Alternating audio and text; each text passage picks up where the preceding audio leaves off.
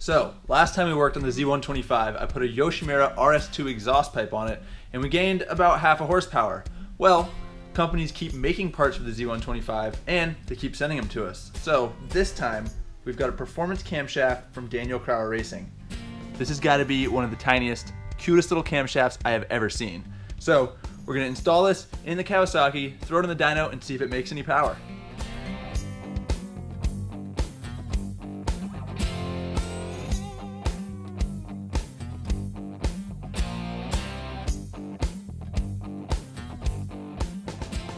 Okay, DCR cam in. Start to finish took about an hour.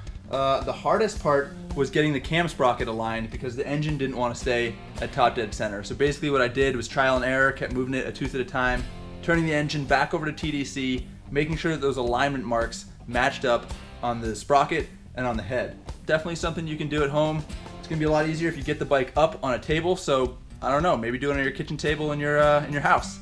But now the big test. Let's see if it starts. Right. Okay, next up, gonna put this thing on the dyno, see what kind of horsepower it makes.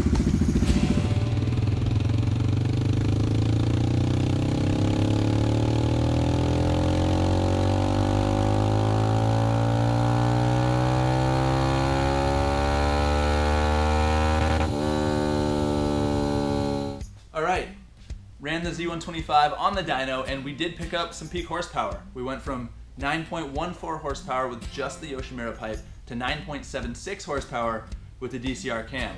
However, all of our gains were from 7,500 RPM up. From 7,500 RPM down, we're actually losing horsepower and torque compared to stock.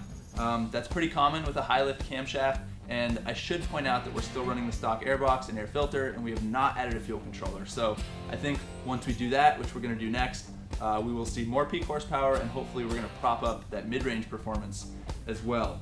Seeing as it does make more horsepower towards Redline, I thought maybe it'll go faster. So I went out and did a top speed run, and I went and indicated 66 miles an hour.